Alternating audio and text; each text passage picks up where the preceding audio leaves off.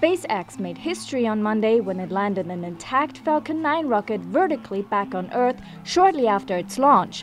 The bold maneuver was a test landing performed during a mission to bring a fleet of commercial communication satellites into orbit for the US firm Orbcomm.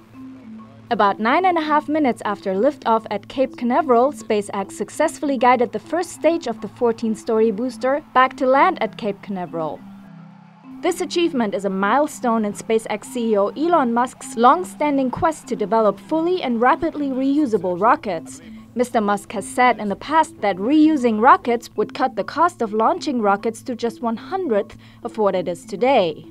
The company has tried and failed to land rockets back on Earth a number of times before, including two near misses earlier this year. Both times the rockets hit their target but ultimately crashed.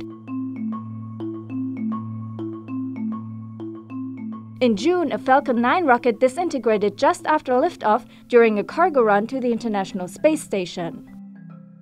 Monday's landing was performed in a new, more powerful version of the Falcon 9 booster, featuring various design enhancements. While previous attempts to land the rocket have been on a floating barge, this time SpaceX successfully dropped the 230 foot booster on land. The maneuver comes about a month after Amazon's billionaire CEO Jeff Bezos and his company Blue Origin successfully landed the New Shepard rocket at a launch facility in West Texas after a suborbital trip to the edge of space. The Falcon 9 rocket is, however, thinner and taller than the New Shepard, making SpaceX's landing a harder feat to accomplish.